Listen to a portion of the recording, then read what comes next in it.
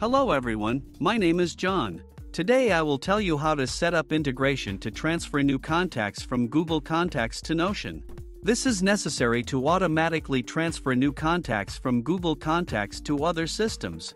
For example, in Notion you can add new database items and conveniently interact with them in the future. Now let's move on to the setup. First you need to create a new connection. Next, select the data source system, Google Contacts.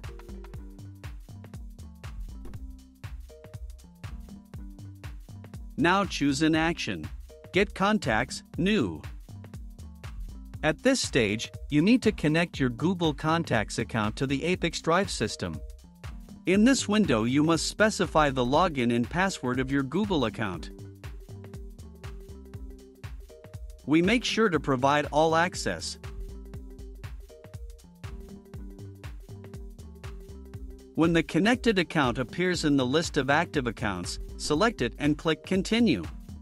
There are no additional settings for the Google Contacts system, so just click Continue. At this stage you can set up a data filter, in this case there is no need for this, so we also click Continue. Now, you see an example of data for one of your Google Contacts contacts, if you are satisfied, click Continue. At this point, setting up the Google Contacts data source has been successfully completed. Now you need to move on to setting up the data destination. Select the system Notion.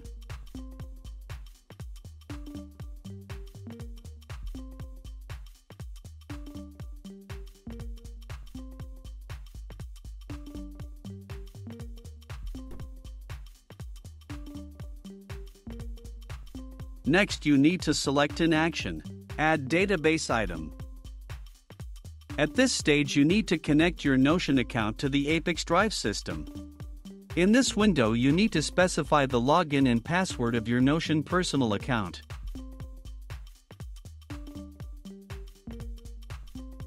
At this point, you need to grant ApiX-Drive access to use your Notion account. Mark all available databases. When the connected account appears in the list of active accounts, select it and click Continue. At this stage you need to select a database in which new database items will be created for each new contact from Google Contacts.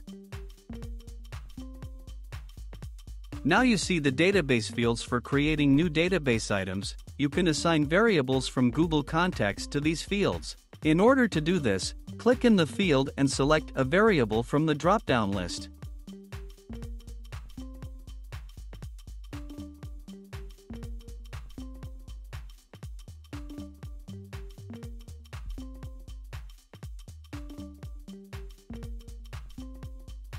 Please note that you can use not only variables, but also enter values manually.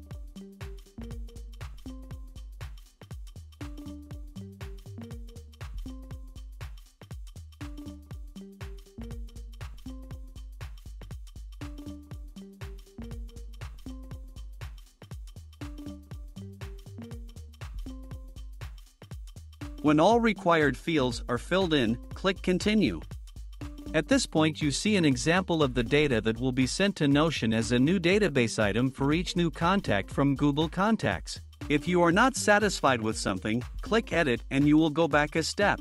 In order to check the correctness of the settings, click Send Test Data to Notion. After successful sending, go to Notion and check the result. If you are satisfied with everything, return to the ApiX-Drive service and continue setting up. This completes the configuration of Notion as a data destination. Now you need to enable auto update and select an update interval, for example, once every 5 minutes. That's all. I wish you successful integration settings and good luck.